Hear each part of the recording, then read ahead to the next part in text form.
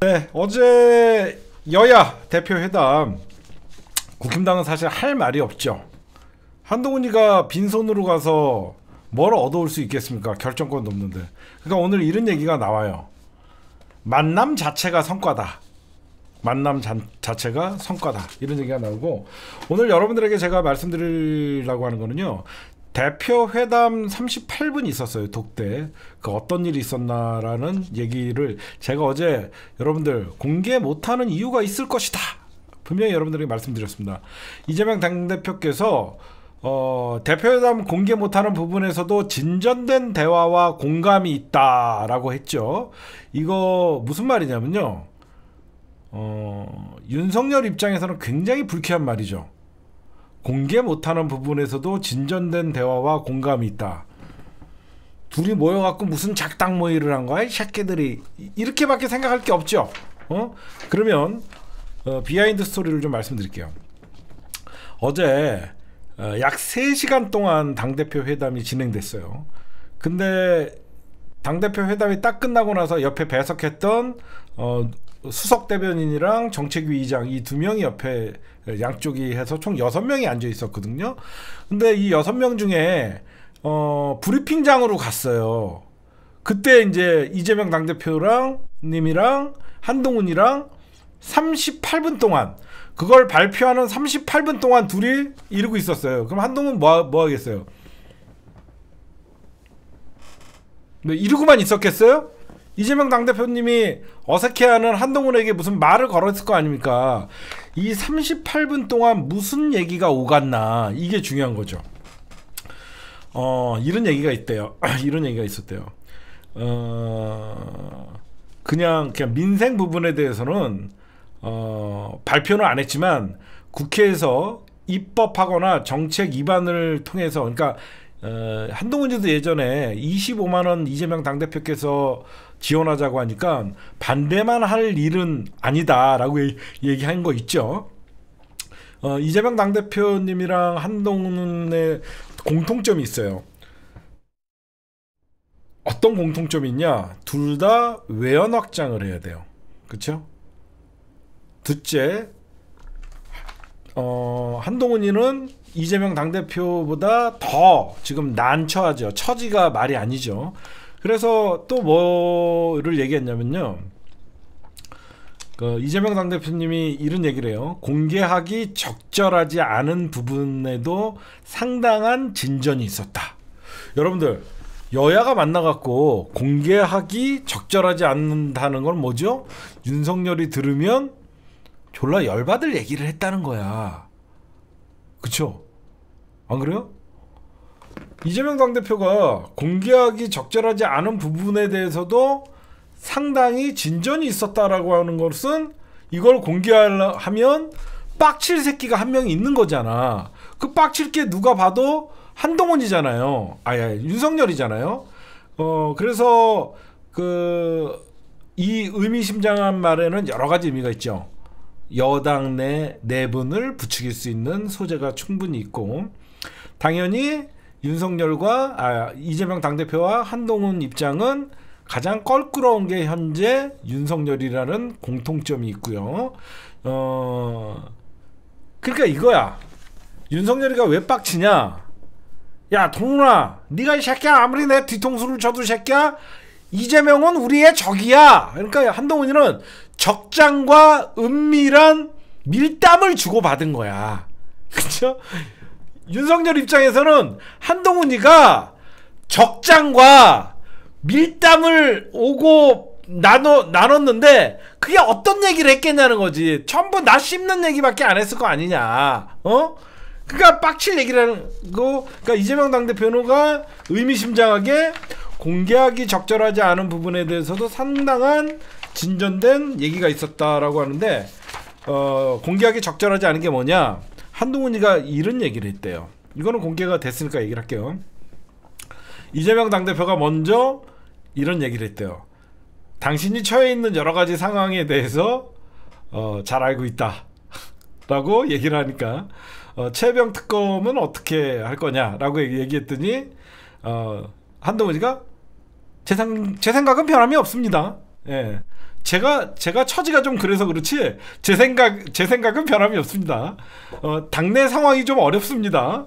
어, 저는 절대 시건하지 않습니다. 자기 한입 갖고 두말하지 않는다라고 그걸 계속 반복해서 얘기했대요.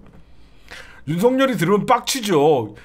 야 이 새끼야 최병 특검은 이 새끼야 정치 공작이야 이 새끼야 나는 분명히 안 받는다고 했어 했는데 제 생각은 변함이 없습니다. 적장과 만나갖고 그런 얘기를 했대요. 그리고 내 처지가 좀 그렇다. 당내 상황이 어렵다. 하소연한 거야. 어? 그러니까 얼마나 여러분 한동훈 입장에서는 이재명 당대표가 얼마나 부럽겠어. 이쪽은 태평성대야. 그 누구도 이재명 당대표를 건들 사람이 없어. 그리고 이재명 당대표가 내가 너랑 위치가 다르다는 것을 모두 발언해서 얘기를 했잖아. 한동훈 대표께서 어, 최병 특검에 대해서 다른 조건을 붙였는데 그것도 받겠습니다. 결정해버리잖아 그 자리에서. 근데 한동훈이는 최병의 채자도 꺼내지 못하잖아. 의, 의, 의료 참사에 의자도 꺼내지 못하잖아. 응? 그래서 그 심지어 여러분들 뭐라 그랬냐면 이재명 당대표께서 그럼 한동훈 당대표 한동훈 대표의 생각을 우리가 법안으로 제출해서 도와드리면 되겠냐. 이재명 당대표가 한동훈한테 그럼 제3자 특검법 발의하기 난처할 거 아니냐. 그럼 우리가 발의를 해주면 되겠냐. 라고 지금 얘기를 어, 했더니 한동훈이가 저도 낼 생각이 있습니다. 예, 이지랄 떨었다는 거야. 어? 그러니까 이걸 말하지 못하는 거지. 어? 이재명 당대표와 한동훈과 만나서 제사, 예, 최병상 어, 특검 변함없고 한동훈 곧 조만간 발표한다. 그랬다가는 용산에서 씨, 어? 보톡스 날라오고 필러 컬러 날라오고 수술용 가위 날라오고 막 다 날라올 거 아니야. 어? 김건희가. 그러니까 어 이걸 얘기를 이재명 당대표 입장에서는 얘기를 못 하죠. 그래서 또 저게 있대요. 그 한동훈이가 계속 대표님 그 정례화에서 어, 매달 만나시죠. 어? 맨날 만나시죠. 그러니까 이재명 당대표가 뭐 그렇게 꼭 정하지 않고 정례화로 꼭 그렇게 정해서 만나지 말고 그냥 어, 자주 봅시다. 이렇게 얘기했대. 그 자주 봅시다라는 말에는 자신감이 있죠. 너 위기 처하면 한번 만나줄게. 어. 또 너 위기 처하면 또 한번 만나줄게. 굳이 그러니까 아, 한편으로는 이재명 당대표의 자신감과 어, 한동훈을 낮게 보는 거죠. 한 달에 한 번씩 만나봐야 네가 갖고 올 수 있는 거는 아무것도 없는데 굳이 내가 왜 너 체급을 키워주려고 만나냐. 네가 진짜 준비되면 언제든지 만나주겠다. 이 소리잖아요. 그쵸? 네가 결단이 있으면 그래 결심했어. 나는 오늘부로 우리 깡패 형님을 버리고 이재명 밑으로 들어갈 거야. 이 대표님 최병 특검 합시다. 감당할 수 있겠습니까? 감당하겠습니다. 저희가 발의해 드립니까? 제가 하겠습니다. 키는 몇입니까? 180 조금 안 됩니다. 2m 조금 안 됩니다. 뭐 이지랄 떨겠죠. 그렇죠? 그래서 아마 의미 있는 대화를 나눴다라고 얘기하는 게 그 의대 문제에 대해서도 의대 문제에 대해서도 시간이 흐르면 시간이 흐르면 당내에서도 어 저의 어, 지금 심각성을 인지하고 있기 때문에 지금 어 제가 아까도 잠깐 말씀드렸지만 윤석열이가 지금 친윤계가 원내에 사실 여러분들 보시면요 현재 구도를 잘 보세요. 어, 민주당은 누가 누구와 보여요? 민주당은 누구 누구 누구만 보입니까? 어. 이재명 당대표밖에 안 보이잖아, 솔직히. 옆에 무슨 최고위원이 김민석이 보입니까? 누가 보입니까? 민주당 하면 딱 이재명밖에 안 보이죠. 국힘당 하면 누가 보여요? 추경호가 보이잖아. 두 명이 보이잖아. 그러니까 마치 당내의 원내대표는 2인자인데 2인자가 당대표를 들이받았잖아. 그러니까 이게 정말 개판인 거예요. 만약에 이재명 당대표가 나 의대 문제, 증언 문제 유의해야 된다. 최병 특검 이거 진전돼야 된다 그랬더니 만약에 원내대표인 박찬대가 아, 저는 그렇게 할 수 없습니다. 라고 하는 현상인 거야. 이제 이해가 빠르죠. 박찬대가 이재명 당대표를 들이받은 거예요. 그럼 여러분들 가만히 있어요? 박찬대 죽었지요 거의 박찬대는 제가 보면 이재명 당대표 들이 받았다가는 거의 죽죠 근데 지금은 저쪽은 어때요 마치 추경호가 원외인 한동훈보다 더 위에 있는 것 같고 그냥 한동훈이는 대표보다는 윤석열과 사이 안 좋은 따까리로 보인다는 거예요. 근데도 조용하잖아. 음. 누가 봐도 국힘당의 남바완은 국민의힘의 남바완은 지금 한동훈이에요. 근데 대놓고 어, 나는 정부의 의료 개혁에 찬성한다. 추경호 그렇게 대놓고 바, 받아버리고 그 다음에 그 여러 가지 그 최혜병 특검도 나는 반대한다라고 받아버리잖아요. 그러니까 그 한동훈 집에서 어 제가 지금 상황이 녹록지가 않습니다. 그 얘기가 나올 수밖에 없죠. 예. 그러니까 저는 어제 이 회담을 보면서 어 그러면 한번 정치적 손익 계산서를 한번 따져봅시다. 그러니까 당연히 여러분들 쟁점 법안 최병 특검이나 어, 의료 참사에 대해서는 사실 공개적으로 합의문이나 이런 걸 발표 안 하는 것은 이재명 당대표에 대한 배려예요. 그리고 한동훈에게 시간을 준 것이다라고 말씀을 드려주고 싶고 어, 이재명 당대표나 한동훈이나 어제 만남은 어차피 이재명 당대표는 결정 권한이 없는 한동훈을 만나서 어떤 소규의 뭐 성과를 얻어낼 거라는 생각은 안 했죠 애시당초 왜 그러면 한동훈은 바, 바지인데 바지 아닌 척. 여러분들 한동훈이가 왜 매사에 그렇게 어설픈 줄 아세요? 가짜래서 그래요. 바지인데도 자기 바지 아닌 척. 응? 키 2m 안 되는데 키 큰 180 넘는 척. 어? 지, 이 상황이 너무나 어색한데 안 어색한 척. 걔는 그냥 척척하니까 진실되지 않아 보이는 거예요. 다. 다 그래서 티가 나잖아요. 그리고 여러분들 그러면 어제는 누가 봐도 한동훈이나 이재명 당대표의 정치적 이벤트죠. 그쵸? 정치적 이벤트인데 누가 봐도 아무것도 가진 것 없는 한동훈이가 이재명 당대표랑 만날 수 있다는 기회만으로도 한동훈은 성공이죠. 그렇잖아요. 한동훈이가 여야 대표 회담을 할 때는 뭔가 서로에 대해서 선물을 하나씩은 들고 갈 생각을 해야 되는데 한동훈이는 들고 갈 수 있는 것은 아무것도 없었어요. 응. 하이힐 신고 가는 것밖에 없었어요. 하이힐 신고 키 큰 척. 그거 하나밖에 없었어요. 그러다 보니까 이재명 당대표는 그거에 대해서 굉장히 여유 있는 모습, 그냥 시간을 어, 너한테 좀 주는 그 대신 저런 게 있습니다. 제가 볼 때는 사람들은 이재명 당대표가 하나도 얻은 게 없다 아니에요. 저는 이재명 당대표가 보이지 않는 큰 것을 얻었어요. 어떤 게 있냐면 어, 민주당은 누가 봐도 거대 제1 야당이죠. 180, 171석에 조국 혁신당까지 합치면 180석이 넘는 사실상 막강한 183석의 거대 야당이죠. 어, 여태까지 검사 탄핵 그리고 장관 탄핵 수많은 어, 대여 강공투쟁을 민주당이 주도를 했죠. 그러다 보니까 어, 강공 일변도의 민주당의 모습이 이재명 당대표가 사실상 실권자의 모습을 보이면서 여당 대표를 너그럽게 만나주고 어떤 민생 현안이나 이런 것들에 더 신경 쓰는 모습이라는 것은 누가 봐도 싸우는 모습이 아니라 당대표의 정상적인 어, 국회의 방향을 짚고 있다. 그리고 중도 확장에 굉장히 큰 성과가 있다라고 저는 볼수 있습니다. 그렇죠? 여태까지 민주당은 투쟁 일변도라고 하면서 어떤 조중동과 어, legacy media에게 공격을 받았는데 이재명 당대표가 중도 확장에 긍정적인 영향을 미치는 계기가 됐다라고 저는 볼 수 있고요. 그 다음에 한동훈은 그럼 무엇을 얻었냐? 그냥 이재명 당대표랑 마주 앉는 자체만으로 어, 자기도 이재명의 맞수는 나다. 그리고 국힘당의 당대표는 나다. 요 정도?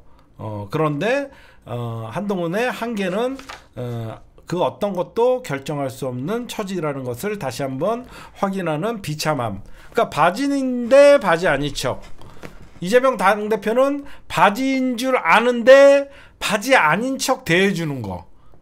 그쵸 너무 상반된 에, 상황이었어요 한동훈은 저는 바지가 아닙니다라고 까부는데 이재명 당대표는 너 바지인 거 다 아는데 바지 아닌 척 대해주는 것도 힘들잖아 어, 그쵸 네 여러분들 한번 봅시다 어, 어제는 누가 봐도 여야 대표 회담을 통해서 절실히 드러나는 것은 양당 대표의 현실 주소입니다.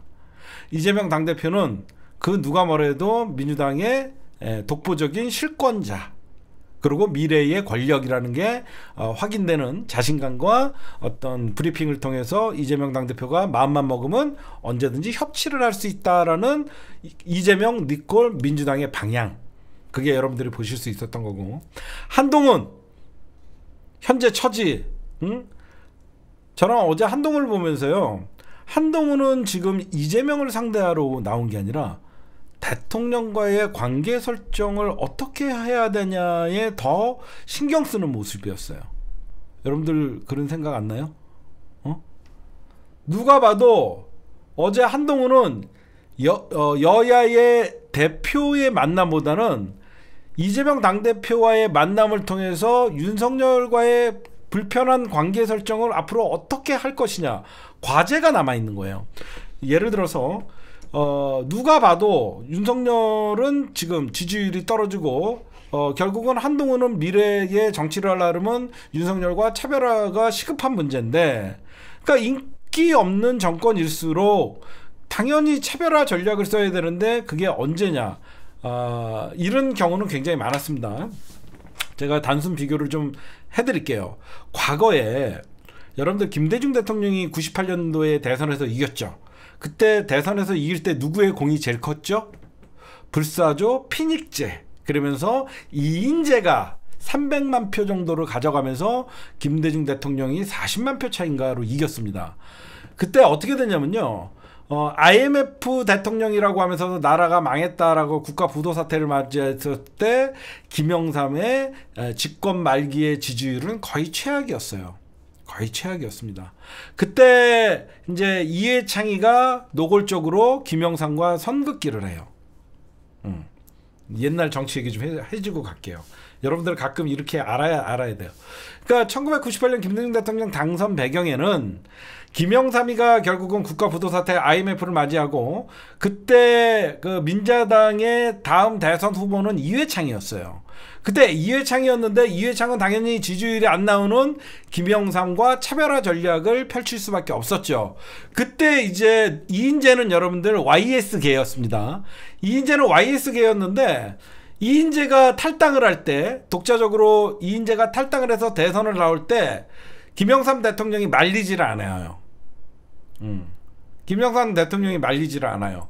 그거는 무언에 이해창이가 결국은 내가 지지율이 나오지 않는다 그러면서 어, 김영삼과의 차별화를 몹시 불쾌히 여기면서 이인재 대선을 묵인해 준 거였거든요. 그래서 결국 어, 어떻게 보면 어, 그 당시에 여권 분열로 김대중 대통령이 DJP 연합을 통해서 겨우 이겼거든요. 그런 과거가 있어요. 두 번째 또 비슷한 경우가 언제 있었냐면 바로 2008년도 대선이었습니다. 그 아, 2012년 대선이었어요. 그때 이명박이가 집권 말기에 지지율이 개판 칠 때 이명박이의 가장 큰 정치적 라이벌은 당내에서 박근혜였습니다. 박근혜였는데 이명박이는 그때 딴 마음 품지 않고 자기의 정치적 라이벌이었던 박근혜를 원세훈을 동원해서 국정원 대선 개입 댓글 부대를 동원하면서까지 박근혜를 지원을 했죠. 그게 바로 쥐새끼가 되게 독한 거예요.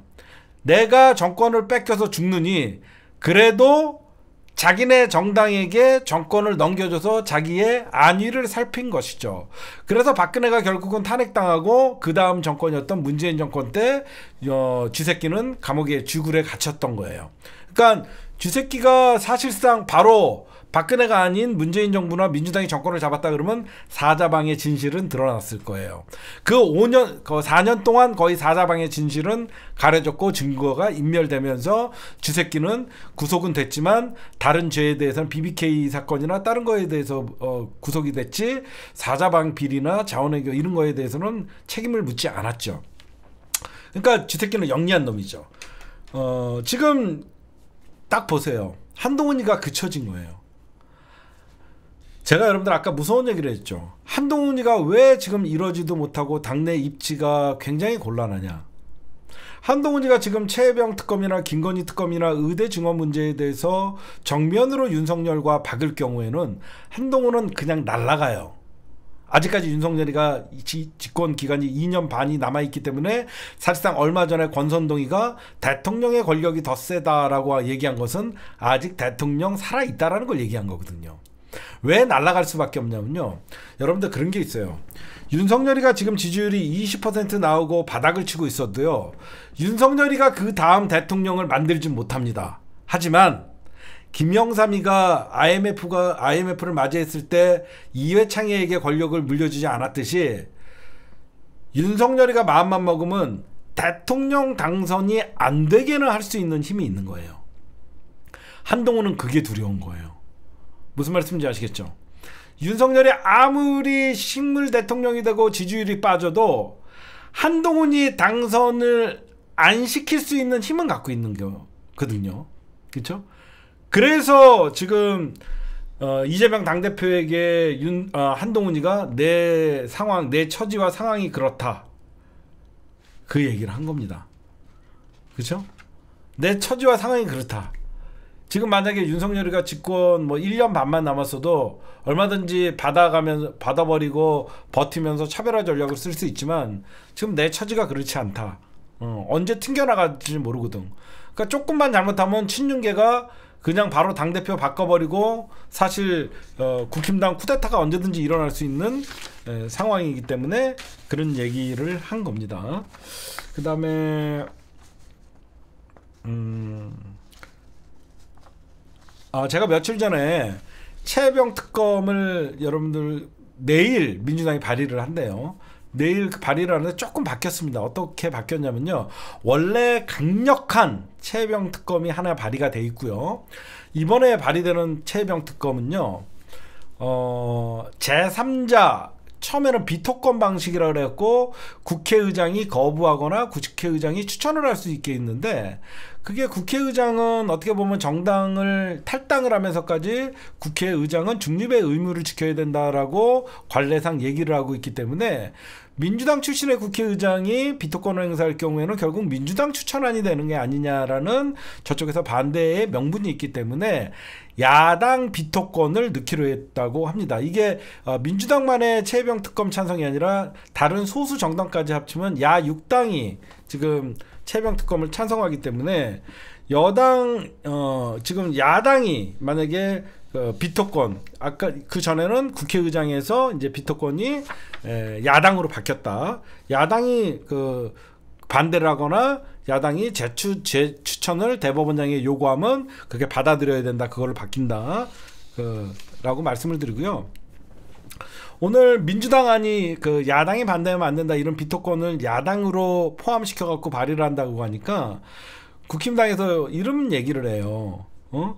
무늬만 제3자 특검이다. 결국 야당이 원하는 사람을 찝을 거 아니냐라고 하면서 비판을 했는데 이런 얘기를 하면 할수록 그럼 니네가 특검법 발의해. 어. 한동훈 너 그러면 약속 지켜. 야당이 발의하는 거 트집 잡으려고 하지 말고 네 입으로 제3자 대법원장 특검법 발의한다고 얘기했잖아. 그거 발의해. 왜 못 발의해? 발의하는 순간 날아가니까. 그쵸? 쫄보야. 특검법 발의하는 순간 용산과 전면전을 펼쳐야 되기 때문에 발의도 못하는 인간이 너 어려움 덜어주려고 민주당이 발의해 준다니까 주둥으리만 불만을 표하고 앉아 있어. 응? 헛소리 안 그래요? 하여튼 어. 그 여러분들 어제 그 대표회담 38분간의 독대 공개 못하는 내용 비하인드 스토리를 또 취재해서 추가한 게 있으면 해드리도록 하겠습니다. 오늘까지는 여기까지 나왔어요. 네, 여러분들 안녕하세요. 시사타파의 심층 분석 시작하도록 하겠습니다. 오늘 알람이 없습니다. 알람이 없지만 여러분들이 이렇게 많이 와주셔서 고맙고요. 먼저 어, 윤석열 지지율 지금 추락하고 있다. 지금 여러분들이 알고 계시죠? 거의 국정 총선 2년 전 거의 취임 2년여 만에 최저치를 기록했다가 그러니까 20%대로 곤두박질 쳤는데 이게 어떤 영향이 있냐면 여러분들 대통령 지지율이 떨어지면 당연히 덩달아서 국힘당 지지율이 떨어지겠죠. 대통령이 국힘당 소속인데 그렇잖아요. 대통령이 국힘당 소속인데 대통령 지지율은 바닥을 치는데 국힘당이 반사적으로 지지율이 올라가거나 그런 현상은 잘 발생을 하지 않겠죠. 대체적으로 대통령 지지율이 올라가면 집권 여당의 지지율도 어느 정도 올라가고 같이 이렇게 움직이는 편이잖아요.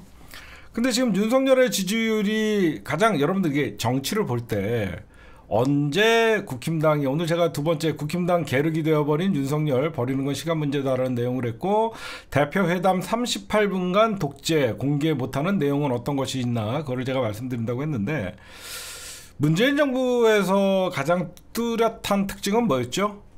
집권 5년 내내 대통령의 지지율이 당의 지지율보다 높았다예요. 그쵸? 대통령의 지지율이 5년 동안 단 한 번도 민주당의 지지율보다 낮은 적이 없어요.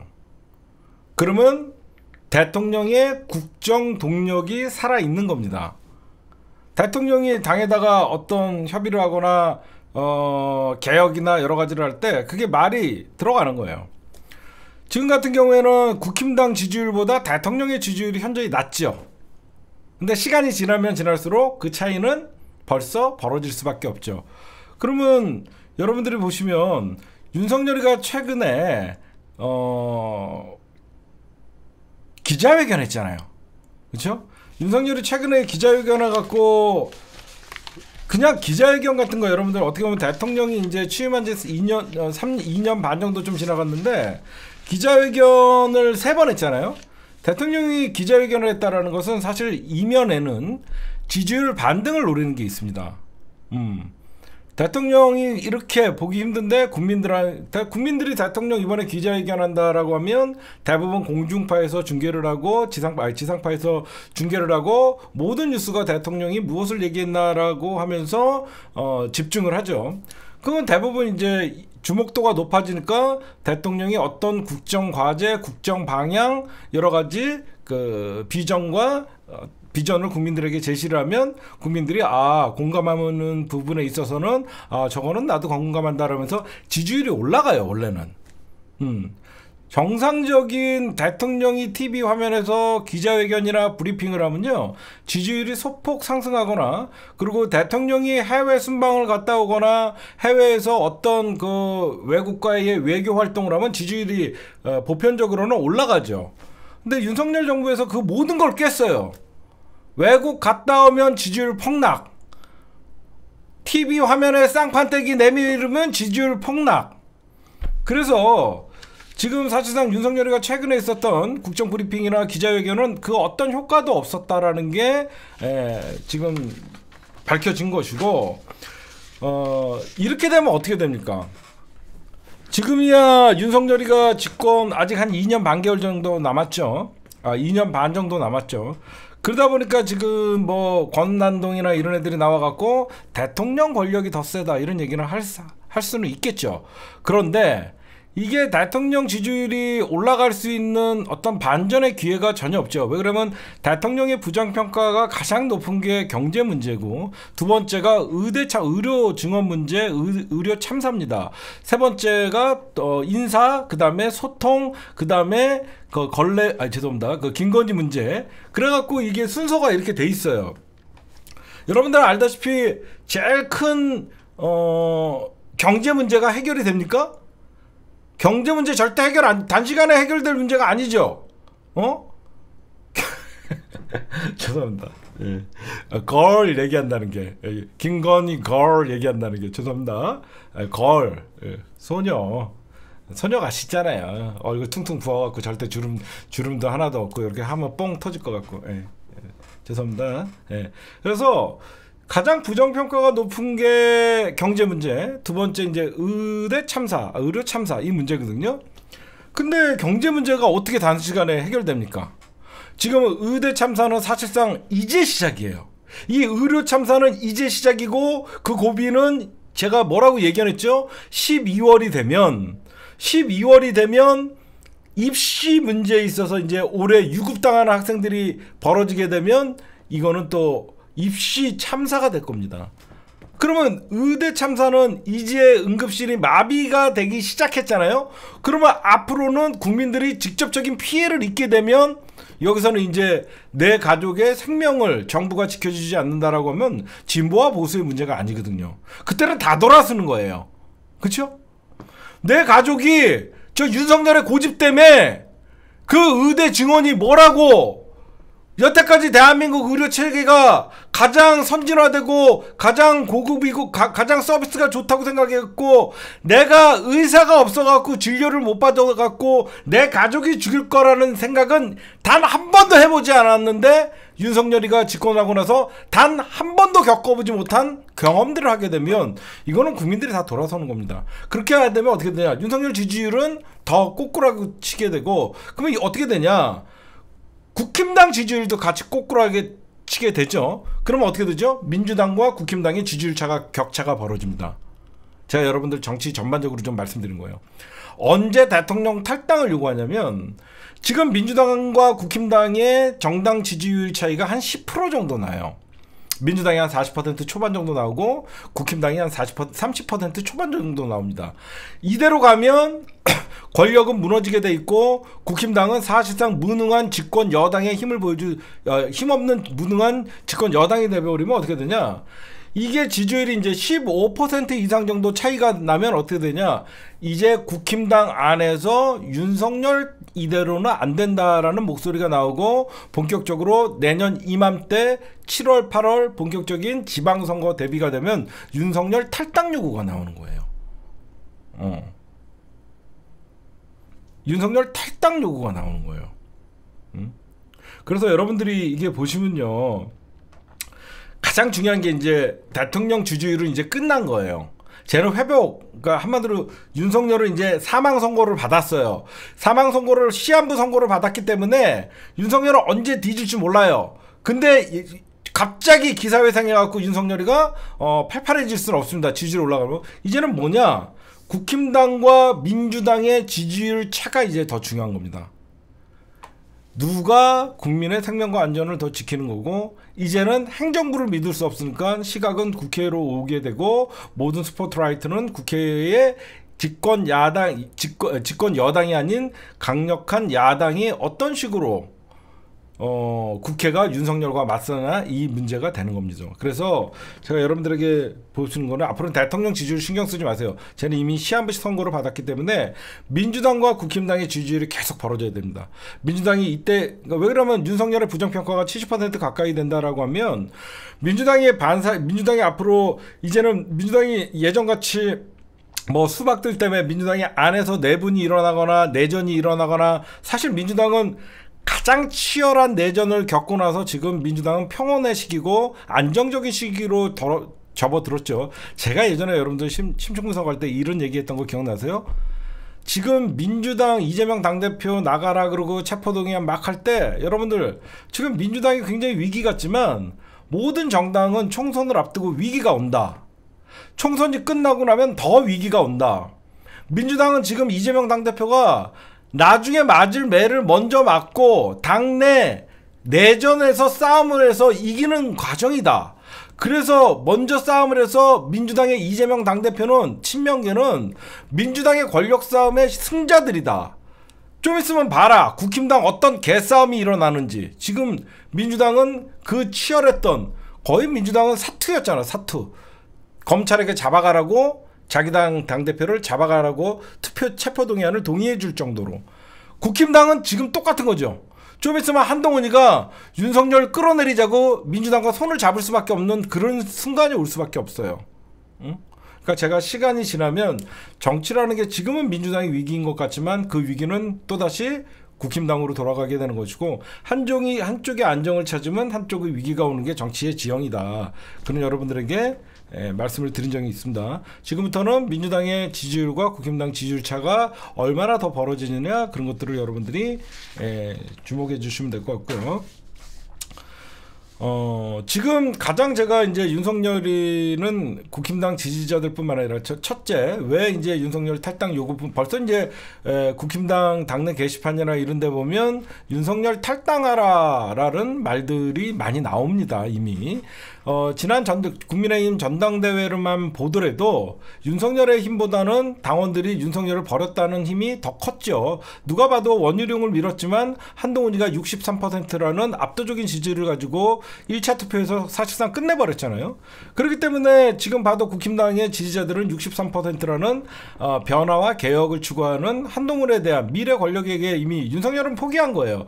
그러면 가장 이 윤석열에게 등을 돌릴 사람들은 마지막 남은 20%이 사람들도 의료 이 참사 문제는 이 사람들도 윤석열을 쉴드 쳐줄 수가 없습니다. 왜? 야당이 의대 증원하자 그런 거예요? 아니잖아. 윤석열이가 총선에 이용하기 위해서 의대 증원 왜 의대 증원 문제는 진보와 보수를 할것 없이 사람들이 막연한 기대가 있어요. 의사들이 숫자가 늘어나면 내가 조금 더 양질의 의료 서비스를 받고 어 병원의 문턱이 좀 낮아지고 뭐 이런 막연한 기대감이 있거든요. 우리가 의사들이 늘어난다 그래갖고 갑자기 우리가 어떤 변화가 있을지는 상상을 하진 못하지만 뭐든지 어 어떤 그 의사 고급 인력들이 늘어나면 어 1인당 그 의사 한 명이 맞는 인구들이 숫자가 줄어들기 때문에 아무래도 우리가 의료 서비스가 더 도와 좋아질 거라는 어, 생각을 하거든요. 그래서 윤석열이가 결국은 이거를 총선에 이용하기 위해서 의대 증원 문제를 꺼내 방향은 옳았다고 생각해요. 저는 방향은 옳았지만 윤석열 같이 아무 무능하고 대책 없는 인간이 어, 앞으로 5년 동안 의대는 거의 2천 명씩 그 2천 명으로 증원을 하기로 했습니다. 예. 예. 아 저는 물러설 수 없습니다. 예, 예. 국민이 뒤지거나 말거나 저는 상관없습니다. 예. 저는 주치의가 있습니다. 예, 이거거든요. 그러니까 사람들은 너는 주치의가 있지. 근데 우리는 너 같은 서비스를 받지 못한다. 이런 생각을 할 수밖에 없거든요. 그래서 결국은 국힘당 지지자들도 돌아서는 시간이 왔다. 그 다음에 어, 오늘 국회 여러분들 개원식 했죠. 어, 우리 에, 고 윤석열 대통령께서는 안 오셨죠. 저는 왜 고 윤석열이라고 얘기를 하냐면요. 사실상 정치 포기, 정치 사망 선고입니다. 주둥이로, 주둥이로는 4대 개혁을 외치면서 무슨 시행령 갖고 개혁을 합니까? 당연히 연금개혁, 수많은 개혁들이나 입, 타 입법을 통해서 개혁을 해야 됩니다. 그거는 정치 사망 선고를 스스로가 어, 얘기한 것이고 정치 포기를 한 거예요. 입으로는 얼마 전에 국정 브리핑을 통해서 4대 개혁 플러스 저출산 대책 하겠습니다. 어떻게? 어? 어떻게? 또 아프리카 노동자들 데려다가 어? 출산시키고 뭐 그렇게 한다는 건가? 모든 여러분들 개혁은요 법으로 되는 거예요 법으로 그래서 가장 여소야대 전국일 때 가장 집권하기 힘든 게 국회의 눈치를 보면서 여당 야, 야당의 당 대표를 찾아가서 난도 보내고 고개도 숙이고 직접 영수회담도 하고 그게 정치예요.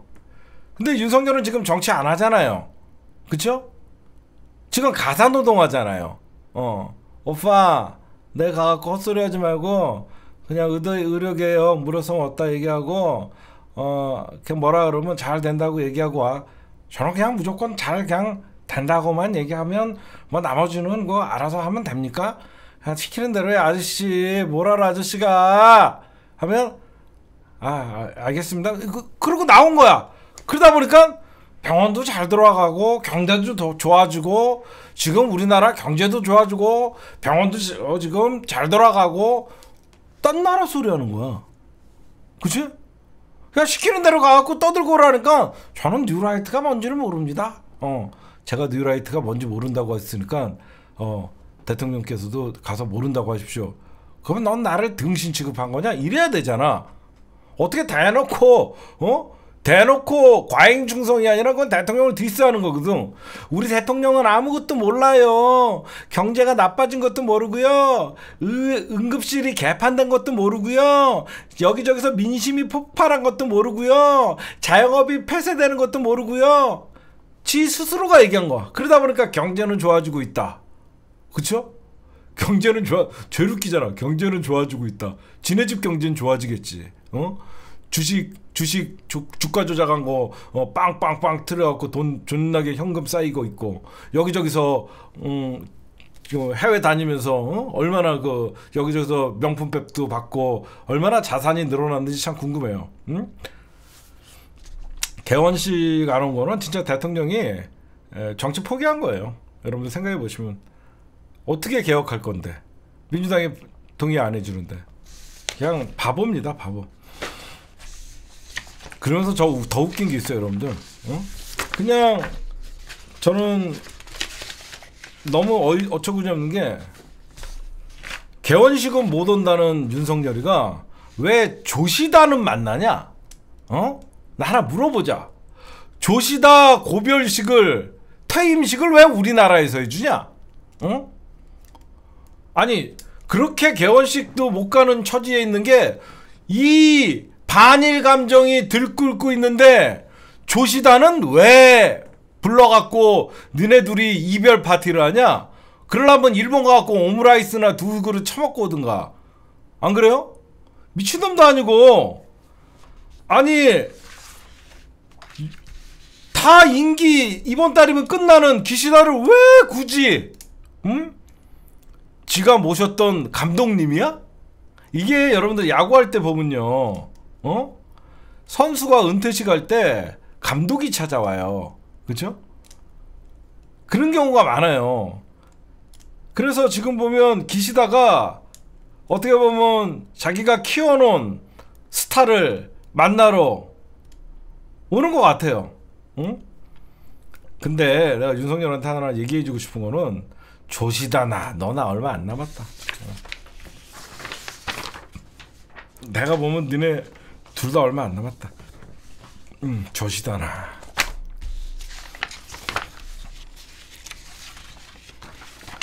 그 다음에 그 오늘의 단신들 좀 빨리 해드릴게요. 오늘 제가 좀 할 게 많아요 단신들.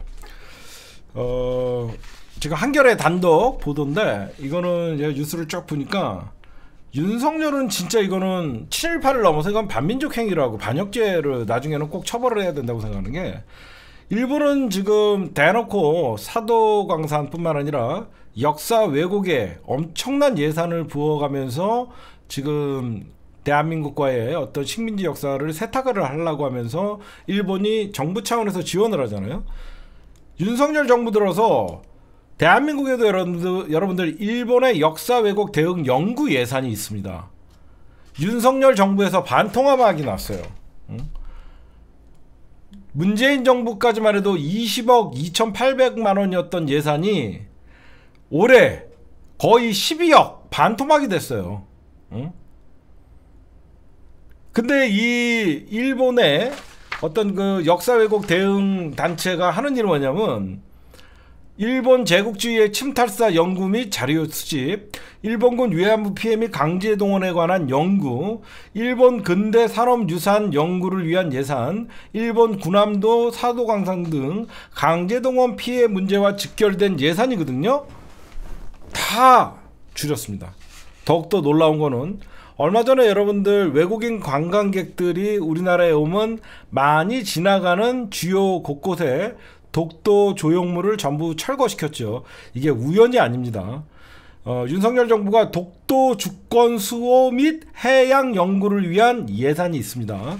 독도 주권, 수, 주권 수호 및 해양 연구를 위한 예산도 거의 지난해 5억 1,700만 원에서 올해 4억 5,800만 원으로 해서 또 내년에는 2억 거의 또 반토막 독도 영유권 동해 표기 논 그러니까 저쪽에서는 Sea of Japan이라고 하고 우리는 East of Sea라고 하잖아요. 근데 이것들이 우리가 계속 해외에다가 저기는 CO 재팬이 일본은 이- 일본애가 아니다 동해다 이런 운동을 펼치고 여러 가지 국제에다 뭐 광고도 하고 막 그러잖아요. 이런 자료 어, 수입들을 다 줄이는 거예요. 음. 그냥 그냥 종일 정권이에요. 그렇게 여러분들이 좀 보셔야 돼요. 그냥 일어나는 일이 없습니다. 그 다음 우리 요번에 여러 가지 청문회를 보면서 여러분들 많은 것들을 느꼈죠. 이게 과- 과연 일본의 국무위원들인가? 어떻게 일본 방사능 여러분들 저는 일본의 조시다 오면요 진짜 이 똥물 한 바가지 펴갖고 쳐 먹여야 돼요. 지금 일본이 핵 오염수를 방류를 하고 있는데 어디라고 여기로 옵니까? 난 이거는 정말 대한민국 대통령 자존심도 없는 놈이고 일본이 국- 대한민국 국민들의 생명과 안전을 위협하는 핵 오염수를 방류를 하는데 여기가 어디라고 옵니까? 사죄하러 와야죠. 어? 근데 대한민국 국무위원이라는 새끼들은 하나같이 처리수래요. 처리수. 응? 왜 자꾸 우리나라의 장관들이 처리수라고 부르냐고요. 어? 일본 장관이에요? 일본 대통령, 일본 장관이에요? 미친놈들도 아니고? 여러분들, 처리수와 오염수는 엄청난 차이예요. 응? 진짜 오염물질이 제거된 것 같은 느낌이죠. 처리됐다라고 하면. 처리수 하면 뭔가 오염물질이 제거됐다. 이거는 정확히 얘기하면요. 이 일본이 아무리 어 1차적으로 처리를 해도 삼중수소라는 방사선 물질은 처리하지 못한다고 일본도 두 손 들었어요. 응? 진짜 저는 지금 조시다를 우리나라에 불러갖고 응? 둘이 자화자찬하면서 우리 둘이가 어, 한일 정상화에 앞장섰어 미래 지향제 이런 지랄을 할게 아니라 조시다 오면 핵 오염수 펌에게 갖고 어, 눈깔 돌아가나 안 돌아가나 봐야 돼요. 정신 나간 새끼들. 그 다음에 저는 요즘 보면요 윤석열 요번에 여러분들 어, 국정 브리핑 보셨죠? 국정 브리핑을 보면서 하나같이 얘기한 사람 하나같이 나온 말이 있어요. 어느 나라 대통령인가? 달나라에서 왔냐? 막 이런 얘기들이 아마 언론이나 여러분들이 아마 많이 했죠. 제가 뭘 짚어드리고 싶으냐면요. 윤석열이가 민정수석실을 만들었어요. 윤석열이가 민정수석실을 만들 때 우리가 뭐라고 비판을 했냐면 너 검찰 통제하려 그러지? 응? 너 검찰 통제하려 그러지? 김건희 방어하려고 민정수석실 만든 건지 막 우리가 비판했죠. 그때 어, 대통령실에서 뭐라 그랬죠? 민생의 생생한 현장을 대통령에게 보고 드리기 위해서 민정수석실을 만들었다라고 얘기했어요. 그쵸? 처음에 그랬어요. 응? 뭐라고 했냐면 어, 가감 없이 민심을 청취해 국정 운영에 방영, 바, 반영하겠다라고 하면서 민정수석실을 만들었는데 야 민정수석실은 왜 만든 거냐? 민정수석실에서 대통령에게 경제는 잘 돌아갑니다. 응? 의사들은 아무 잘 들어 응급실도 잘 들어갑니다. 자영업도 장사가 잘 됩니다. 이지랄 떨었어? 응? 지금 와서 이제 뽀롱이 나는 거예요. 하나하나 보면 민정수석실을 만든 것은 결국은 김건희 그리고 윤석열 사법 리스크 방어하려고 만든 게 드러난 거죠. 어? 거기에다가 왜 제2부속실 안 만들고 왜 감찰 그 뭐죠? 그 뭐라 그래요? 그 뭐라 그래 요 여러분들 그 옛날에 그 조홍천이 했던 거 뭐야? 어. 어, 조홍천이 했던 거 뭐야? 공직기강 비서관 만 아니, 아닌데 뭐라 그래? 아유 머리가 나빠졌다. 누가 좀 알려줘. 어. 그뭐 뭐 왜 설치 안 하냐 그럴 때 어? 음, 요즘 아유, 내 머릿속에 특별감찰관. 어. 왜 특별감찰관 설치 안 하고 응? 왜 제2 부속실 설치 안 하냐 라고 하니까 장소가 없습니다. 사우나는 이 새끼야 이 드레스룸은 이 새끼야 욕 뒤지게 먹었잖아. 그래서 저는 여태까지 용산이 민심의 어떤 그 민심을 청취하고 어, 대통령에게 잘 전달한다라고 하더니 에, 그냥 민정수석실을 이제 왜 만들었는지 나오고 있다. 네, 그다음 네 여러분들 여기저기서 요즘 제가 얼마 전에 그좀좀 좀 지난 얘기인데 제가 좀 해드리려고 저도 매일 운전하고 다니다 보면 직접 경험하는 일이니까 우리가 얼마 전에 싱콜이 발생을 했죠 연희동에서 자동차가 확 빠지는 걸 보면서 저도 깜짝 놀랐는데 어, 용어부터 좀 말씀을 드리면요. 운전할 때 여러분들 조그맣게 이렇게 도로가 파여 있는 걸 pothole이라 그래요. Pothole. 그 그릇같이 pot. 그래서 pothole이라 그러고 좀 크게 파진 거를 sinkhole이라고 해요. 그러니까 좀 작은 거는 sinkhole이라고 안 하고 pothole이라 그러고 조금 큰 거를 이제 싱콜이라고 하는데 이게 왜 발생할 여러분들 이게 왜 발생하는지 제가 가르쳐 줄게요.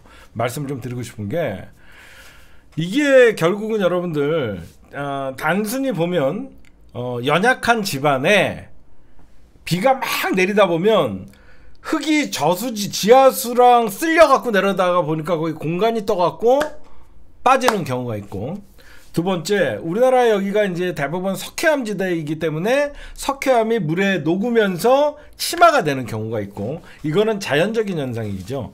그 다음에 이제 가장 중요한 것은 기후 변화에 따라서 폭우가 세게 내리다 보니까 아, 동시에 물이 많이 오다 보니까 쓸려가는 경우가 있고 이거는 사실 직접적인 제가 보면 원인이 아니에요. 뭐냐면요. 난개발이에요. 난개발.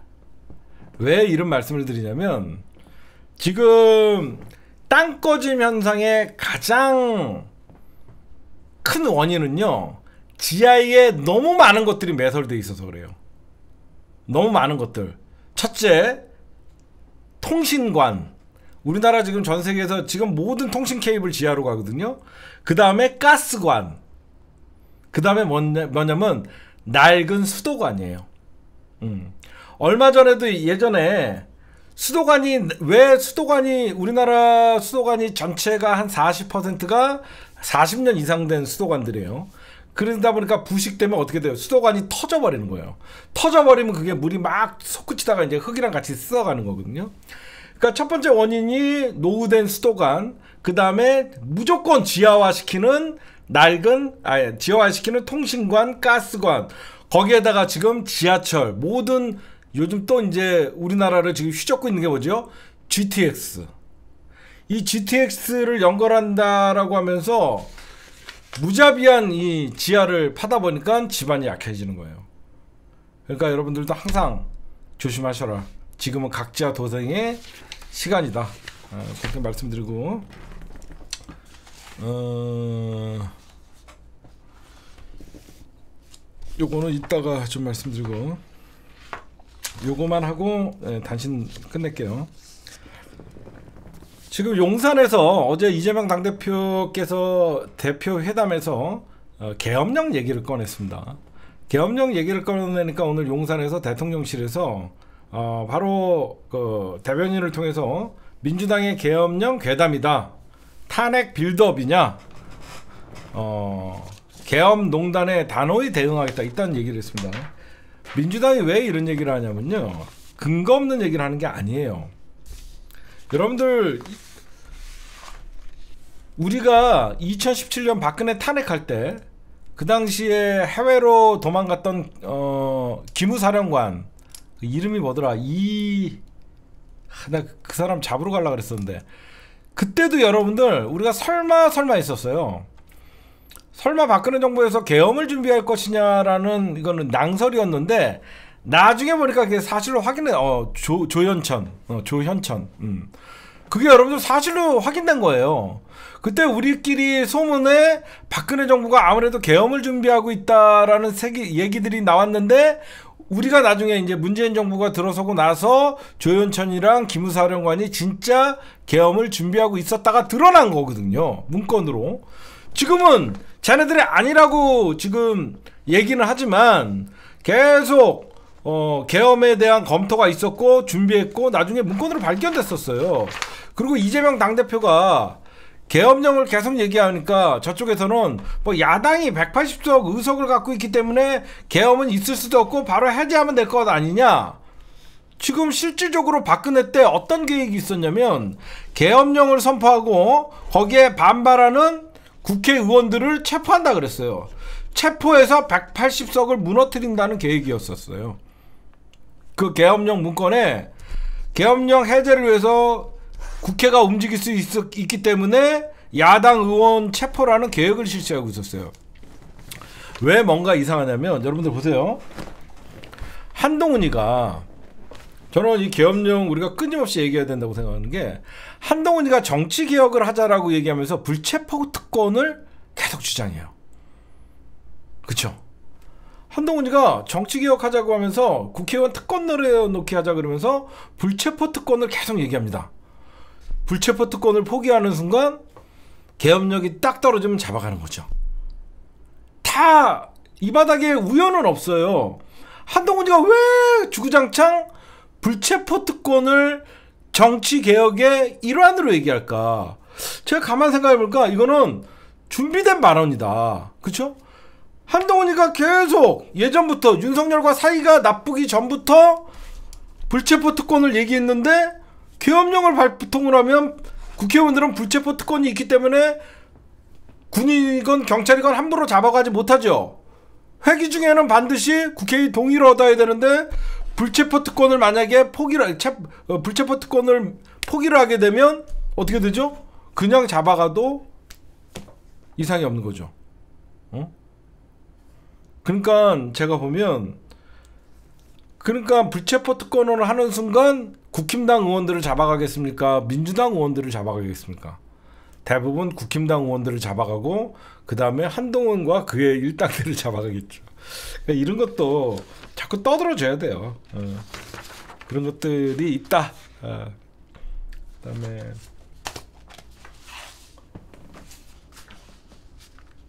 네 오늘의 주요 단신이었습니다. 어, 지금 응급실 뺑뺑이 민심 폭발 직전입니다.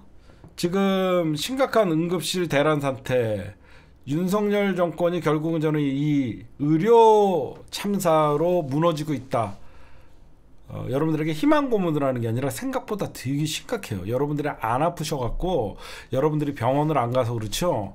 병원 한 번이라도 갔다 온 사람은 난리가 났습니다. 지금 왜 그러냐면 어, 잘 보세요. 벌써 정치권에서 어떤 일이 일어났었냐면 얼마 전에 김한규 의원의 부친이 응급실 뺑뺑이로 결국 사망했다라고 하면서 어, 겸손님들 다에 나오셔갖고 직접 말씀을 하셨죠.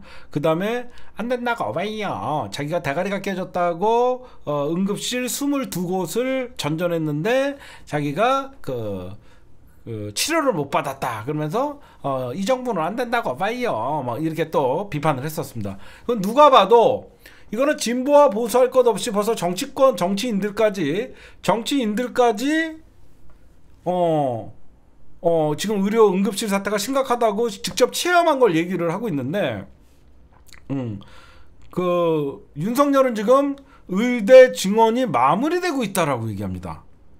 음, 너무너무, 어, 지금 국힘당 상황 알려드릴까요? 이거 의사 증원 문제 유예해야 된다, 이거 빨리 타협해야 된다가 친한계에서 나오지 않습니다. 친윤계에서 이 얘기가 지금 나오고 있어요. 이러다가 우리 다 죽는다. 진짜로. 주변에 여러분들 국힘당 지지자들 다 떠나가고 있고 친윤계 의원들은 지연, 지역구를 갖고 있는 현재 국회의원들이잖아요. 벌써 의료 대란이 자기 동네에서 어디 응급실이 있고 어디 응급실이 있는데 지금 응급실 대란이 추석 때 더 심각해질 것이다라고 하면서 의대 교수들이 경고하고 있는데 이 달나라 대통령 윤석열은 뭐라고 하는지 아세요? 의료진에게 감사한대요. 뭘 감사하는데? 지금 왜 이번 추석 때 의료 대란이 더 의대 교수들이 경고를 하냐면요. 지금 추석 때 응급실에서 일했던 그 의사들 쉬어야 되잖아요. 음. 그래서 여기저기서 의대 병원들 응급실을 쉬게끔 문을 열지 않겠다는 거예요. 무슨 말씀인지 아시겠죠?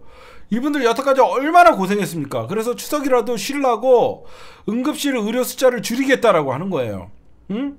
그래서 지금 응급실 대란 경고를 의대 교수들이 하고 있는데 윤석열은 딴 나라에서 왔는지 의료진에게 감사한대요. 그러면서 여러분들 걱정할 상황 아니래잖아. 이게 왜 윤석열의 앞뒤가 안 맞냐면요. 걱정할 상황이 아니라고 얘기하면서 군의관 군의관이 뭐냐면 군대에 배치된 의사들이잖아요. 응? 군의관은 왜 정부가 응급실에 내가 배치하냐? 응급실 아무 이상 없다면서 왜 군을 투입해? 스스로가 비상 상황이라는 걸 얘기하는 거예요. 그쵸? 스스로들이 비상 상황인 걸 예, 인정을 하니까 군인들이 민간 병원 응급실에 투입이 되는 겁니다. 어? 이래 놓고도 이상이 없대요. 응? 안 그래요? 이상이 없는데 군인들은 나라를 지키고 군인들을 지켜야지 왜 민간인을 지키러 군인들이 군부대 밖으로 나옵니까? 어? 왜 군의관들을 응급실 배치를 합니까? 앞뒤가 맞지 않잖아요. 응? 진짜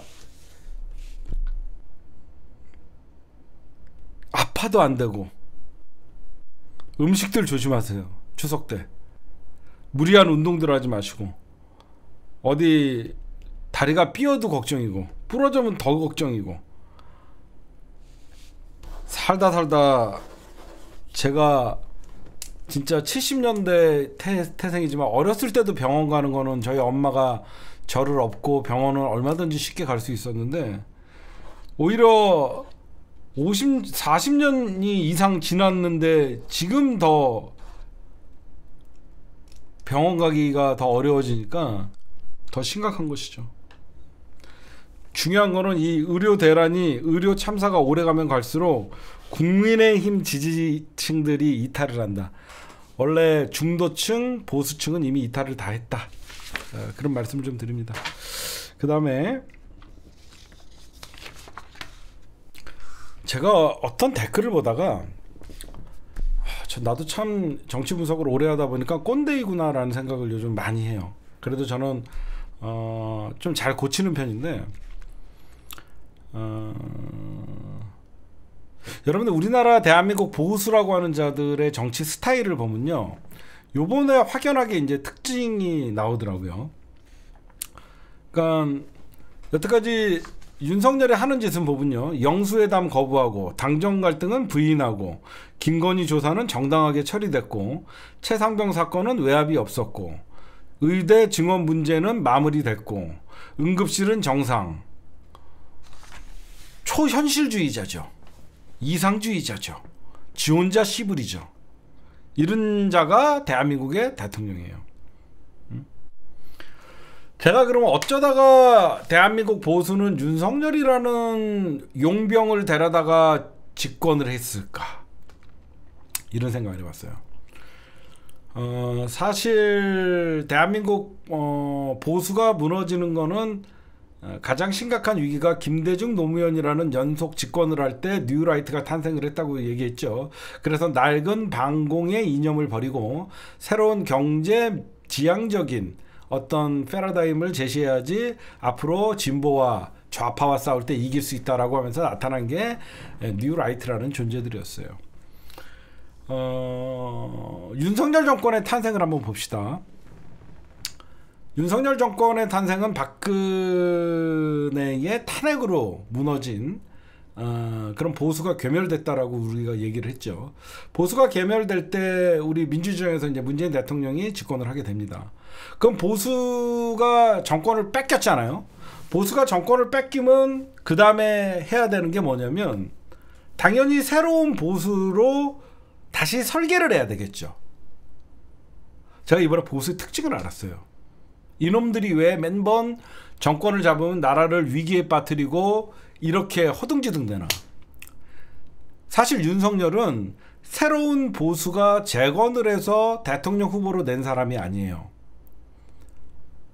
얘네들은 보수가 괴멸됐지만 그 무너진 거를 차마 제대로 건축도 하지 못하고 여기저기 무너져 있는 새끼들 중에서 쓸어 모아갖고 쓰레기들을 모아놨다 보니까 그 쓰레기들 중에서 사실상 대통령 후보가 나올 사람이 없으니까 밖에서 갖고 온 거예요.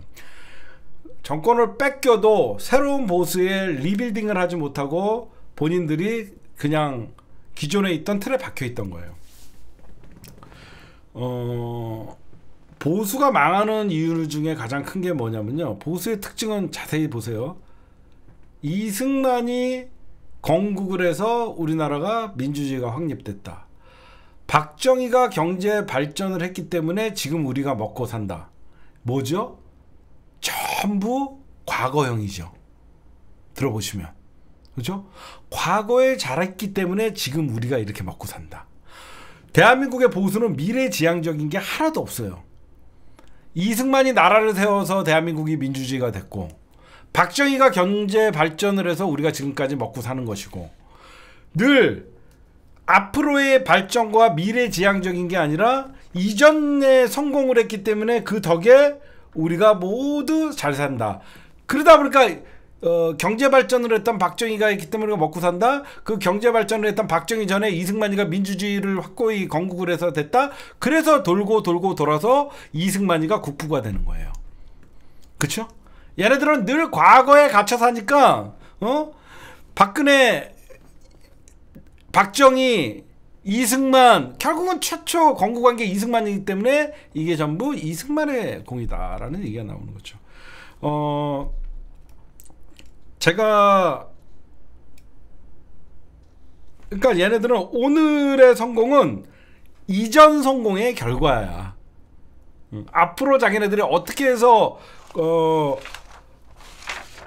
대한민국을 설계, 설계하고 그런 게 전혀 없는 거죠. 지금 우리가 보면 보수가 왜 이렇게 정권을 잡으면 허둥대냐면요. 보수는 권력을 뺏겼을 때는요. 나름 미래를 고민합니다. 아마 이 말이 맞을 거예요. 보수주의자 대한민국의 기득권 보수들은요. 어, 김대중 노무현 정부라는 10년을 거치면서 정권을 뺏겼을 때는 미래를 고민하면서 뉴라이트라는 이런 집단들이라도 나오는 거예요. 그렇죠? 이렇게 가다는 우리 죽는다. 고민의 흔적이 뉴라이트예요. 근데 얘네들은 권력을 얻으면요.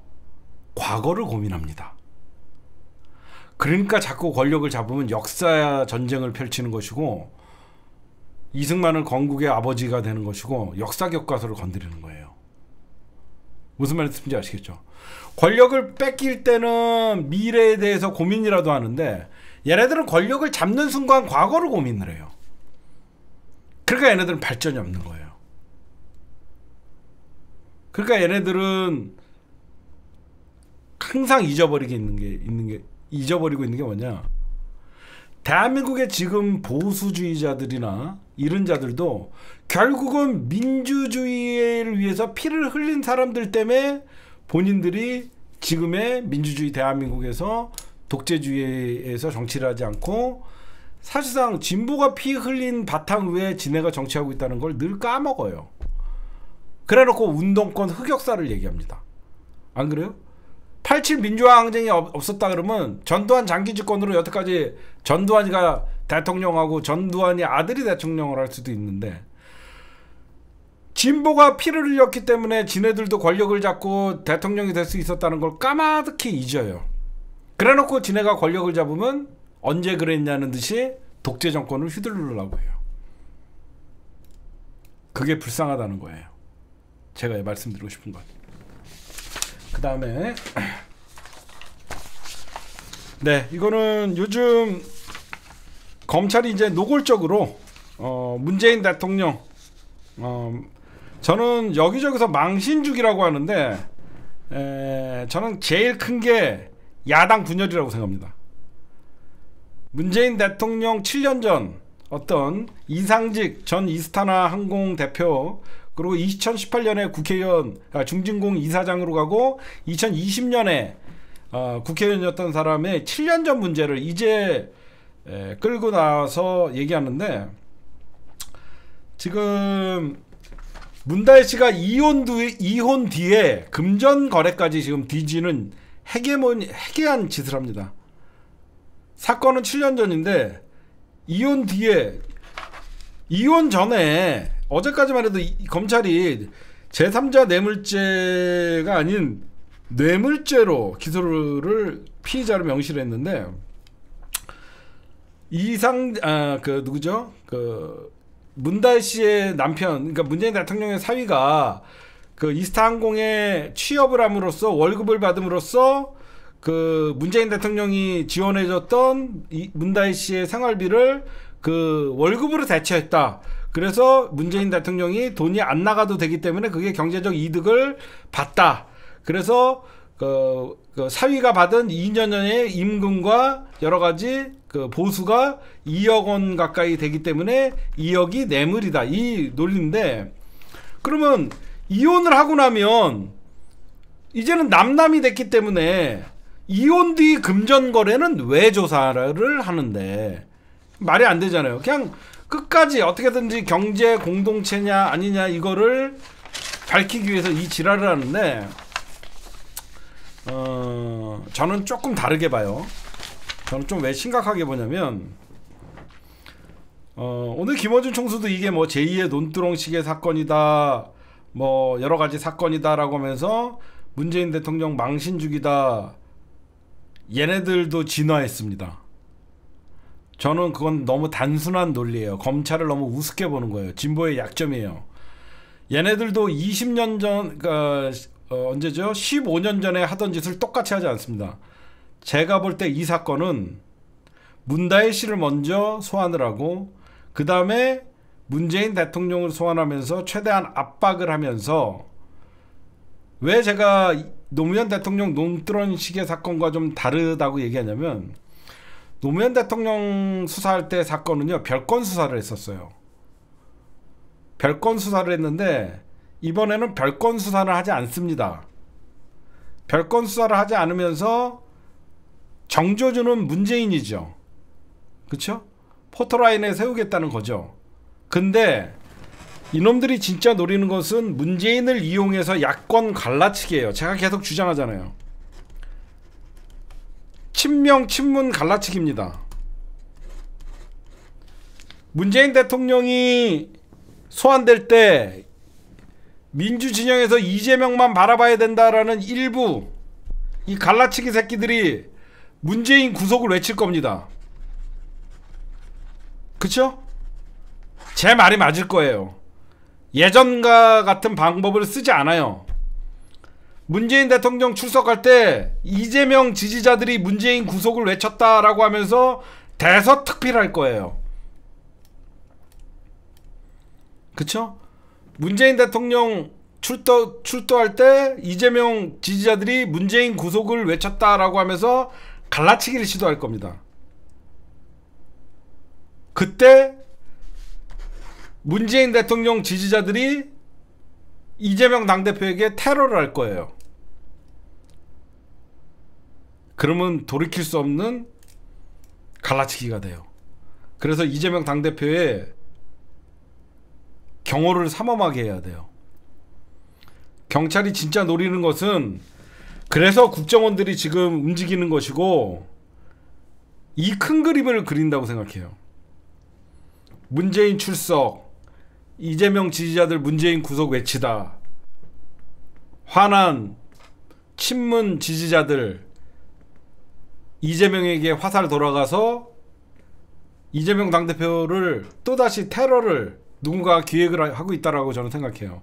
왜 그러냐면 자네들이 정치에서 이길 수 있는 방법은 아무것도 없습니다. 유력한 대선 후보를 제거하는 거예요. 이미 문제 이재명 당대표는 한 번 테러를 당했습니다. 한 번 당했으니까 안 당하겠지 하면서 지금 경호가 허술해요. 제가 보면 지금 경호가 너무 허술해요. 한 번 당했기 때문에 안 하겠지 하면서 경호가 허술합니다.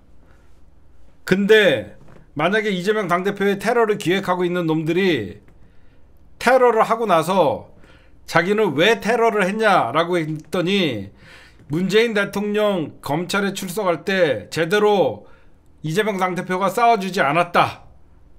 범인이 이런 얘기를 하면 친문 친명은 박살이 나는 거예요. 이걸 노린다고 생각해요.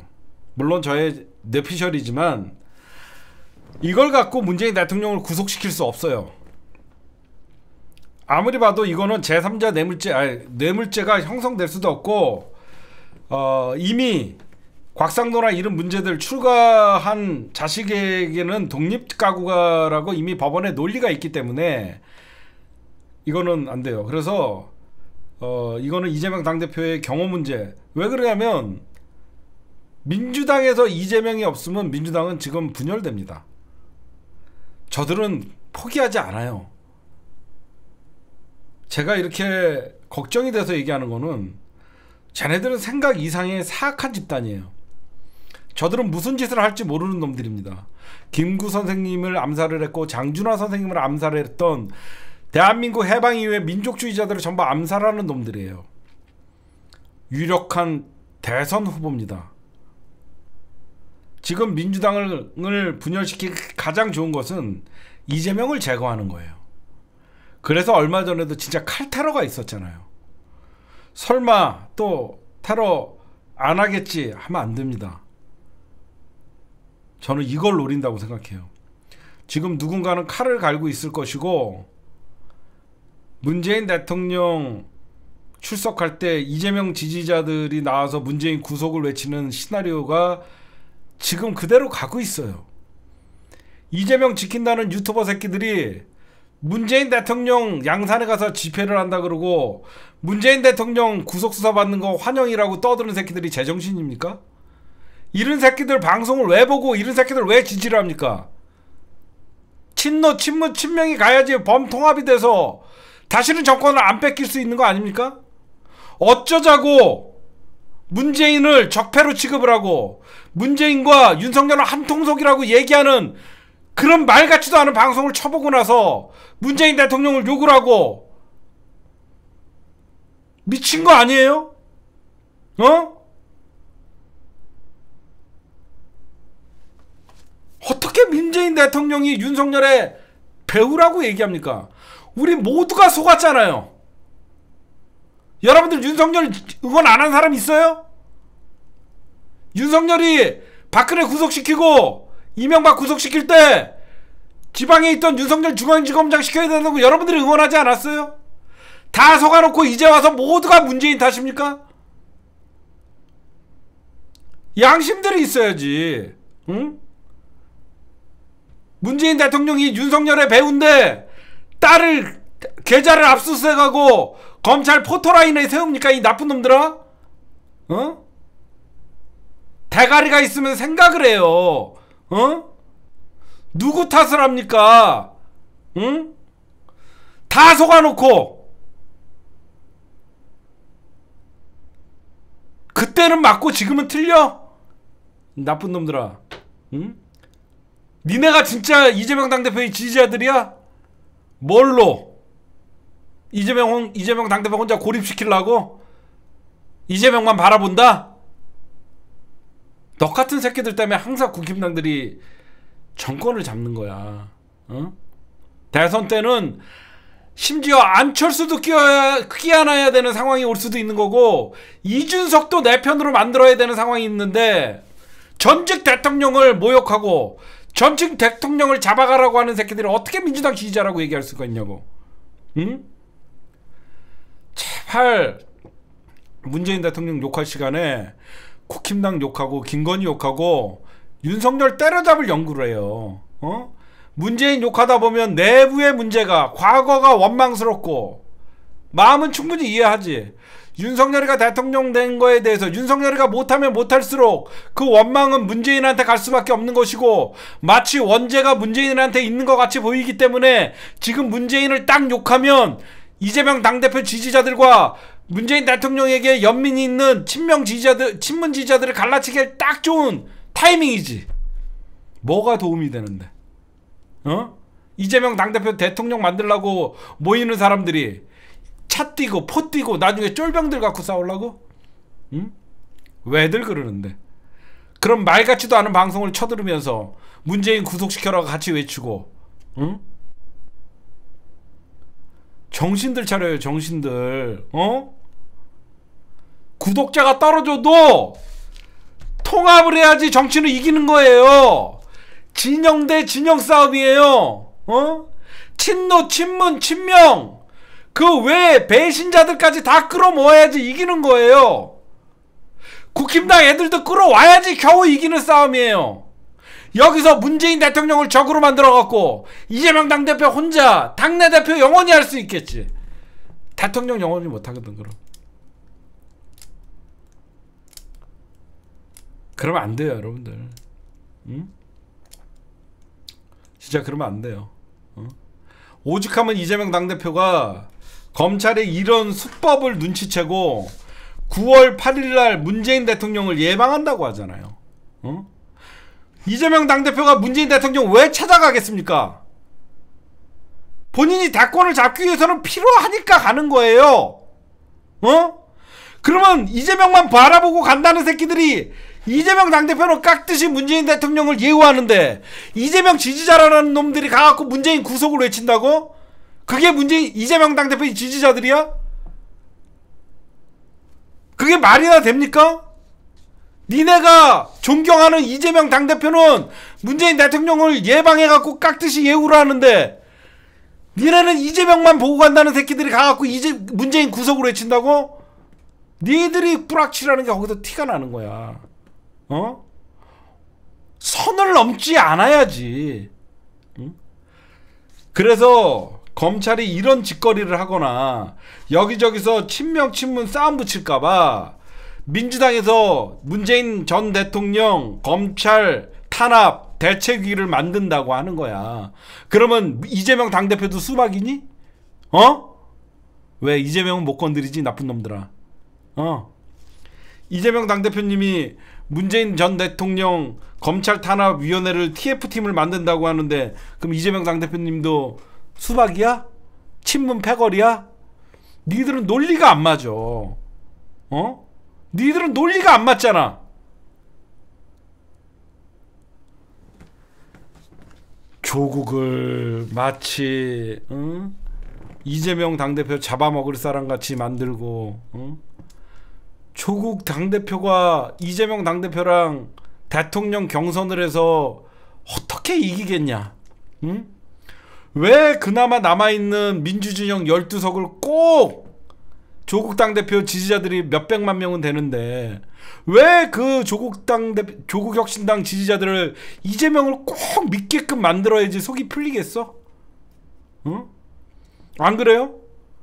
조국 혁신당도 여러분들 지지율 8% 나와요. 그 8%의 국민들이 그렇게 조국을 욕하고 이재명 당대표의 지지하라는 것들이 조국을 적폐로 취급을 하고 문재인 어?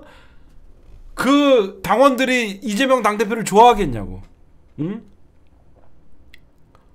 어떻게 이런 짓거리를 하냐고 이 나쁜 놈들아. 응? 멈춰라. 니들 돈벌이 때문에 난 더 이상 쟤네들의 정권 잡는 걸 못 본다. 어? 나라도 끝까지 니들이 멈추지 않으면 내가 멈추게 해줄게. 응. 내가 또 총대 메고 니들 멈추지 않으면 내가 멈추게 해줄게. 응? 이건 아니잖아. 응? 니들이 갈라치기가 아니라 그러면 그 시간에 허건날 방송 전체가 문재인 욕하고 조국 욕하고 문재인 욕하고 조국 욕하고 그 시간에 윤석열을 공격하고 국힘당을 무너뜨릴 생각을 해야지 나쁜 놈들아. 응? 제가 너무 한심스러워 갖고 어쩌다가 우리 민주 진보 진영이라는 인간들이 응? 이렇게 타락하게 됐나? 응? 유튜브 뽕이 이렇게 무서운 건가? 응? 갑자기 2020년에 나타나온 새끼들이 이재명만 지킨다고 하면서 어떻게 대통령을 만들겠다라고 하면서 모든 민주정을 갈갈이 이렇게 찢어 놓으려고 하냐? 그러니까 니네들이 바로 돈벌이 수단밖에 안 된다는 그런 욕을 먹는 거야. 응? 여러분들 제가 아까 이런 말씀을 좀 드렸어요. 어떤 말씀을 드렸냐면 음, 제가 너무 여의도에 갇혀 있었던 어, 꼰대 정치 분석을 했던 것 같다.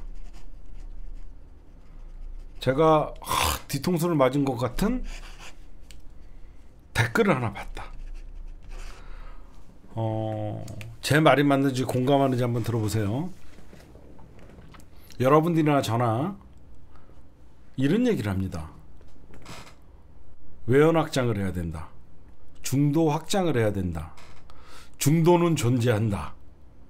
이런 얘기를 하죠. 그렇죠?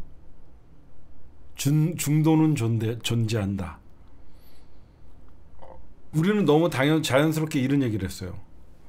외연 확장을 해야 된다. 중도는 존재한다. 이런 얘기를 했어요. 반대로 생각해 봅시다. 정치라는 건 항상 저는 반대로 생각해요. 대부분이 중도예요. 내가 왜 이 생각을 못했는지 한심하더라고요. 우리끼리 진보와 보수를 나눈 것이지 대한민국 대부분이 중도예요. 저도 중도가 어딨냐는 얘기를 엊그저께까지 했어요. 저도 엊그저께까지 중도가 어딨냐고 하면서 항상 우리 정치 고관여층 기준으로 중도를 평가했던 것 같아요. 근데 지금 생각해 보니까 우리가 투표할 때 보면요. 대선 투표해봐야 70%예요. 80% 많이 해봐야. 거기서 열성적으로 평소에 정치에 관심을 두다가 투표하는 사람은 30%밖에 안 돼요. 3, 40%밖에 안 돼요. 대부분 평소에는 정치 관심 없다가 투표 때만 투표하는 거예요. 왜 제가 그런 생각을 했는지 아세요? 만약에 정치 참여하는 사람들이 대다수고 중도가 소수라고 하면 김어준의 겸손은 힘들다는 구독자가 2천만 명은 돼야 돼요. 아 적어도 천만 명은 돼야 돼요. 그렇지 않아요? 이재명 당대표님이 득표한 1600만 표 있죠? 저는 가만 생각해 봤어요. 늘 우리 기준으로 정치의 관심도를 나누다 보니까 정말로 수많은 중도를 생각하지 않았다. 중도가 존재하지 않은 게 아니라 우리가 유별난 거였다. 전 뒤통수를 맞은 것 같았어요. 10명 중에 8명은 세상이 어떻게 돌아가는지 내 먹고 살기가 힘든 것이고 한 명은 민주당을 지지하고 한 명은 국힘당을 지지하는데 그 사람들이 모여서 죽으라고 싸우다 보니까 정치에 많은 사람들이 직접적으로 참여하는 것 같이 보이는 거예요. 민주당의 여러분들 이번에 전당대회에서 투표하는 거 보세요. 민주당 그렇게 이재명 당대표 대선에서 1600만 표 정도 받았죠. 이번에 민주, 민주당 당원이 몇 명이에요? 많아야 200만 명이에요. 우리나라 국민이 4,500, 5천만 명이에요.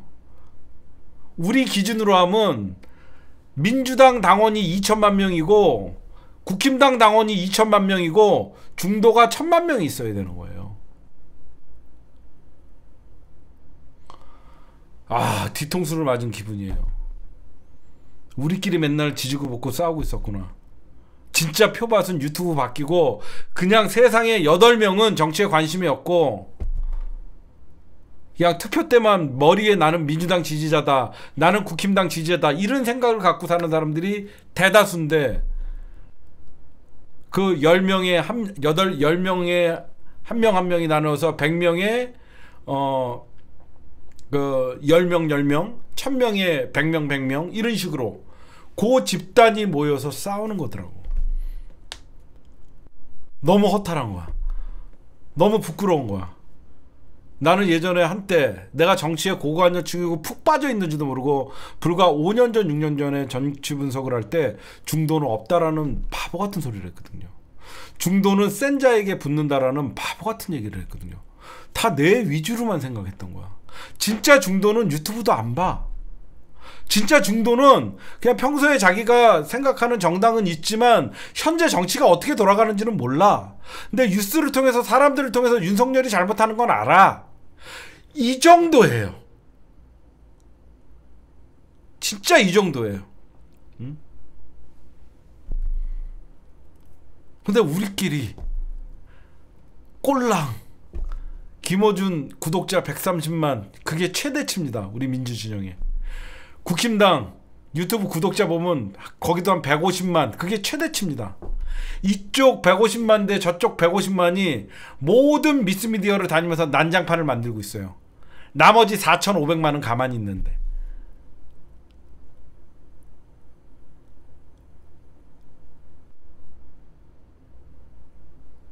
왜 중도 확장을 해야 되고 왜 이렇게 우리끼리 입으로만 이재명 지킨다 그러면 안 되는지 뼈저리게 느꼈어요. 뼈저리.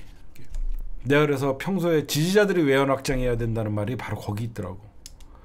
우리가 우리끼리 노는 게 중요한 게 아니라 평소에 정치에 관심 없는 사람들이랑도 밥을 먹고 저는 평소에 정치에 관심 없는 친구들이랑 운동도 하고 밥도 먹고 그리고 그 사람들의 얘기를 듣다 보면 내가 굉장한 정치에 빠져 있는 사람이구나라는 걸 느껴요. 정말 그 걔네들은 나 때문에 민주당을 찍지만 지금 무슨 일이 일어나고 있는지를 몰라요.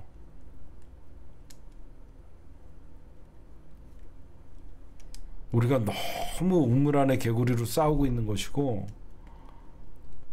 좀 한심하다고 생각했어요. 이번에 민주당 여러분들 전당대회 봅시다. 어, 권리동안이 뭐 민주당 당원이 200만이라고 하는데 총 투표자가 100만 명도 안 됐어요. 그렇죠? 이재명 당대표는 1600만 표를 얻었는데 민주당의 투표에서 100만 표도 안 나와요.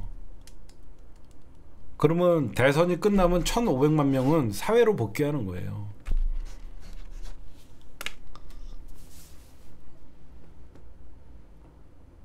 아, 내가 잘못했구나. 맨날 허원날 중도 확장해야 된다. 그 말이 굉장히 모순이구나. 진보 지지자, 보수 지지자는 딱 굳건히 있고 나머지 작은 진보를 누가 먹느냐의 싸움이다라고 생각하는데 아닌 거야. 전체적인 대한민국의 유권자의 파일을 보면 진보와 보수는 주먹 하나밖에 안 되고 넓은 운동장을 누가 땅 따먹기를 열심히 하냐의 싸움이더라고. 지금 지켜보니까. 음. 누가 이 어디를 찍을지 모르는 수많은 유권자들 점점점 사람들이 어떤 정치 이념보다는 본인의 그 유불리에 따라서 투표하는 성향이 강해지기 때문에. 우리 같이 이념과 여러분들이랑 저랑 민주당을 지지하는 이유는 어, 정치에 좀 많이 빠지다 보니까 정치적 이념, 역사적 사명, 어, 그리고 국힘당의 악행 여러 가지를 알다 보니까 우리야 손 손가락을 자르면 자랐지 2번은 못 찍는 예, 그런 상황이지만 그게 아니더라고요. 음. 대통령이 될 뿐 이재명 당대표님만 외연 확장할 게 아니라 우리끼리 벌써 문재인 대통령 조국 어, 장관 비판하는 이런 코어 지지층들이라고 하는 인간들이 민주당을 망치고 있더라고 지금 보니까. 걔네 꼴배기 싫어서 민주당 지지하기 싫다는 말이 나올 정도로. 그래서 저는 앞으로 어떻게 하면 우리가 음? 저는 다시는 지고 싶지 않아요. 어. 저는 다시는 지고 싶지 않아요. 지금 2년 반도 지옥 같은데 또 우리가 선거에서 패배를 해서 하, 또 이런 세상 저는 감당할 자신이 없어요. 무조건 이겨야 됩니다. 우리가 총선이라는 전투에서 이기고 대선이라는 전쟁에서 지면 안 됩니다. 전쟁을 이겨야 돼요. 진영과 진영의 전쟁에서 이겨야지 그러면서 점점 민주당이 집권하는 게 당연시 되게끔 만들어야 돼요. 민주당이 이기면 당연시 되게끔 만들어야지 민주당이 집권했으니까 보수당 국힘당이 한번 집권해야지 이런 걸 만들면 안 돼요. 집권할 때 잘해야 되고 집권할 때 무섭게 해야 돼요. 진보가 권력을 잡으면 무섭다는 걸 보여줘야지 알아서 깁니다. 김건희가 명언을 남겼죠. 우리가 권력을 잡으면 경찰이나 검사들은 알아서 긴다. 진보가 권력을 잡으면 알아서 덤빈다. 진보가 권력을 잡아도 작사를 해야지 무섭다는 걸 알아야 돼요. 오늘 제가 하고 싶은 얘기는 여기까지만 할게요. 저만큼이라도 어, 친노, 친문, 친명 어떻게 해서든지 흩어지지 않고 지지자들이 단일 대우로 단 하나의 목소리로 단 하나의 구호로 어, 우리가 대동단결할 수 있도록 그리고 어, 제가 이런 생각을 해요 가끔 음, 어쩌다 보니까 사람들이 너무 예민해져 있는데 이 모든 예민한 것을 해결할 사람은 이재명 당대표밖에 없는데 앞으로 이재명 당대표께서 굉장한 우클릭을 할 때 지지자들에게도 경고를 할, 할 거예요. 어. 어, 저는 그렇게 생각하고 음, 하여튼 뭐 욕을 먹더라도 어, 정권만 다시 찾아올 수 있다 그러면 이재명 당대표 될 때까지 우리라도 여러분들 저런 어, 이재명 당대표 지킨다 그러면서 허건날 민주당 안에 내부 총질하는 놈들 저런 놈들한테 여러분들 흔들리지 마세요. 어. 알겠죠? 어. 네, 오늘 방송은 여기까지입니다.